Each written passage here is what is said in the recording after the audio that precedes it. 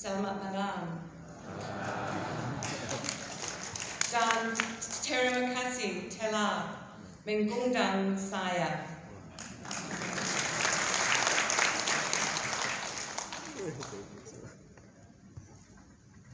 So to His Excellency, Mr. Juliari Batubara, Minister of Social Welfare, it's an honour to be invited here to this really important event.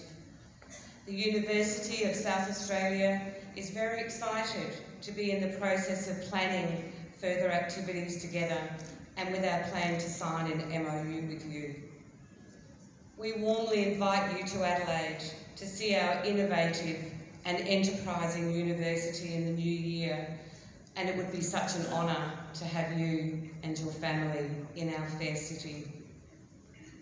To the Director General of Education, Research and Social Counselling, it is truly exciting to see you again. And to see this room filled with interested colleagues and peers, all with the same intention of trying to create a better life and a more civil society for Indonesia. UniSA hopes that some of you will visit us as well very soon. Australia, like Indonesia, shares the vision for a society filled with economic and social engagement for all.